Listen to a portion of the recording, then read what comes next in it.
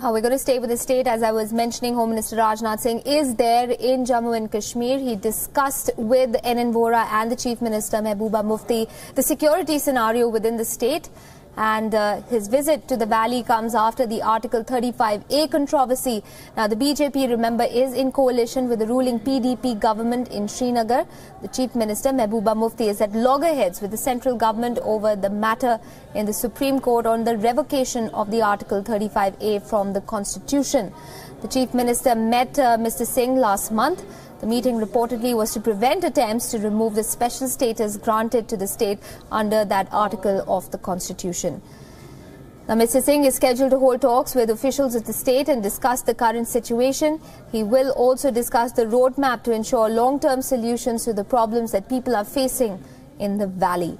The Home Minister posted on social media, quote, I have asked the authorities to expedite the implementation of the PMDP in uh, a time-bound manner. It will create jobs for the people of Jammu and Kashmir, end quote.